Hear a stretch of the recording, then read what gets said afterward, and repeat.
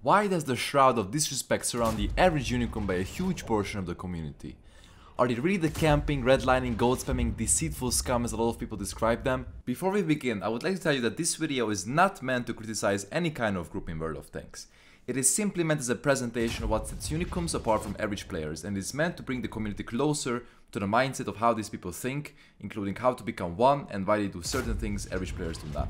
Hey guys, my name is Kajzoo and today we're gonna talk about Unicums in World of Tanks and the perception of Unicums in general by the community. I would like to share a little bit of information about myself, how I became a good player in short time. It took me 3000 battles to get to around 2.4 thousand WN8. This is hugely the results of me watching a ton of streamers from the CIS region back in the day, reading guides about tanks and understanding maps and positioning. I had a lot of time as a young guy back in the day and the game truly fascinated me with its mechanical and analytical depths. Back in the day there weren't many usable guides on YouTube and Twitch wasn't as popular as it is today, but today it has been never been easier to learn and get better. The joy for me in this game stems from being able to have fun while providing good, entertaining content for my audience. So who are they? Unicums, as for what slang goes, refers to the best players of the game. They are the distinguished individuals who boast high damage per battle stats coupled with high win rate percentages, seasoned with high marks of excellence count in World of Tanks. A player's WN8 is the usual metric that is chosen for determining whether someone is a Unicum or not. Unicums are able to decide the outcome of random battles on their own. If they play extremely well, they can even turn the long lost battles into crazy victories. A Unicum is usually a very experienced player who has explored every part of the endgame content the game has to offer, has most of the tech tree unlocked, and has multiple reward tanks obtainable from campaign and possibly even took part in some sort of high level competition within World of Tanks. But what are the factors that separate Unicums from average players in World of Tanks? As a super unicum, this topic for me is really easy to cover and I would like to have the community understand what sets the average unicum apart from the average player in World of Tanks. It is very important to understand that most unicums are maximalists. In the sense of the word, I refer to being a maximalist as a person who is always striving to be the best in anything he does. As in any other video game or as in real life, the maximalist mindset is not present in every person. It sets people apart who are happy with their $10 per hour wage for the rest of their lives from the people that are constantly striving to get a promotion at their workplace or find other jobs where they make more money. Okay, this might have sounded stupid, but I couldn't really come up with a better example. In other words, there are people that are happy with their current situations and do not do anything significant to achieve change, and there are the ones that want to win life and are never fully satisfied with themselves, their situations, and their performance in different fields of their lives. This can be roughly translated to describe unicums in World of Tanks. Let's call Unicums maximalists and the average player who doesn't really want to get particularly good and just plays the game to unlock all the tanks in the tech tree a minimalist. Unicums spend and have spent enormous amount of time trying to get better compared to the average Joe. They commit time to understand the deepest of the game's mechanics. They have put their self-defense mechanism aside and are learning day by day from their own mistakes in randoms. They want to compete and triumph over others doing super high damage, winning 1v1s and carrying games is what makes them happy. But they're never fully satisfied with themselves in this regard. World of Tanks is a team-based game, but it is not team play oriented. Winning is always secondary in the mind of a Unicum and because of this, they learned how to be self-reliant without the need of help from their allies. Self-reliance also causes people to be more selfish in terms of trying to make every game their own. This is a toxic trait, but it is the combination of the game's nature and the maximalist slash competitor mindset that we talked about which created this in Unicums. Unicums do not necessarily commit more time to play the game than the average players, but they most definitely commit more time and energy trying to understand the deep aspects of the game, such as angling, positions, equipment, map awareness, and aim. They are overall maximalists in terms of achieving results, getting higher DPGs, more gun marks, but most importantly what sets them apart in my opinion is that they all possess the ability to look into themselves in case of a personal failure. They peek into a Jagdpanzer 1 ritual and take a thousand damage because they peeked into that street without putting their track out to see if they got spotted first. They will definitely learn from that, whereas the average player will get penned in a turret in his object 140, but goes into the next battle without checking tanks.gg for the weak spot allocation on his tank. In my opinion, the commitment to dig deep and go beyond the baseline of World of Tanks gameplay is the very basic pinnacle that sets really good players apart from the average ones. Unicums understand how the game works 99% of the time because they spend their time learning instead of just driving their tanky tank forwards and looking at how magnificent the with his gun looks like. And there is absolutely nothing wrong with that. Everyone will have fun in different ways in this game. I'm going to go into this a bit more at the end of my video, but I do respect average players equally. Now I would like to talk about why a huge portion of the community hates Unicums. This has multiple reasons and I'm going to go into and talk about each and every single one. The good players of other games are respected and looked upon. Such is the case in CSGO. For example, s1mple is regarded by many and is known by 90% of the community as the best sniper and this fame kind of built up a personal cult where he's regarded as an ethereal being in terms of knowledge and super high level gameplay. This cannot really be said about Unicums in World of Tanks. People regard them as gold slinging, redlining, cheating Unicums who only care about WN8 and damage and some of this is true, but let's break down this into segments. Gold spamming. Gold or premium shells in this game obviously grant you the advantage of having more penetration and you will be much more successful in terms of doing damage, no matter if you're a better or a worse player. Unicums can be seen using and playing with gold shells more than the average person, but this can be explained by looking at a major game mechanic called RNG.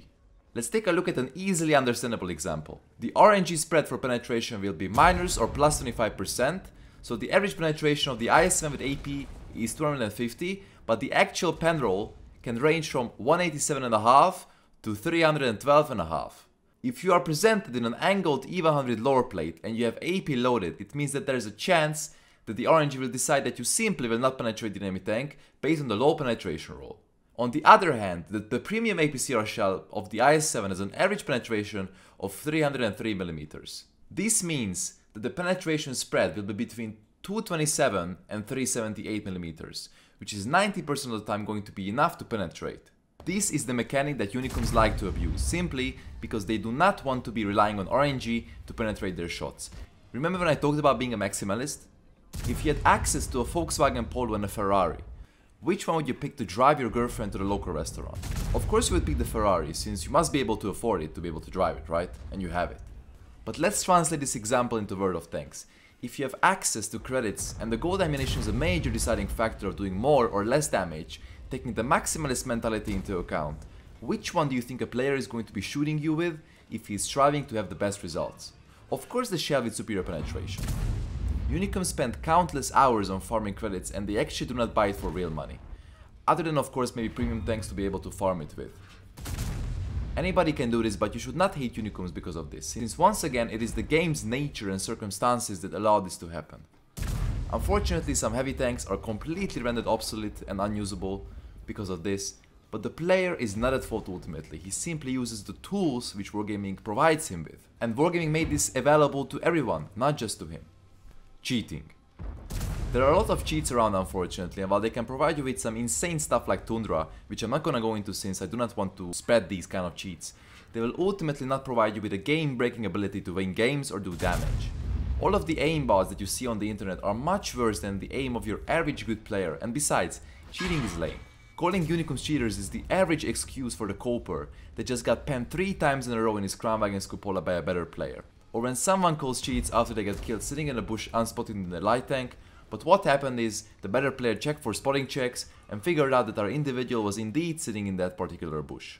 There may be unicums that cheat, shame on them, but most of the time it is not going to be game breaking, and most unicums do not cheat. Redlining, camping, using HP of allies for their own advantage.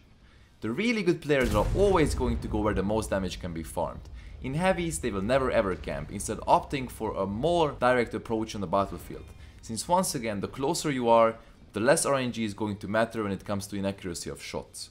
There are indeed more toxic unicums in the game who just sit at the red line in low tiers and farm beginner players with full gold loadout in a tank which provides massive amounts of WN8, but this is not really prevalent in high tiers. These stat padders and seal clubbers will perform much worse than the average unicum at high tiers and will also be much easier to destroy for average players too.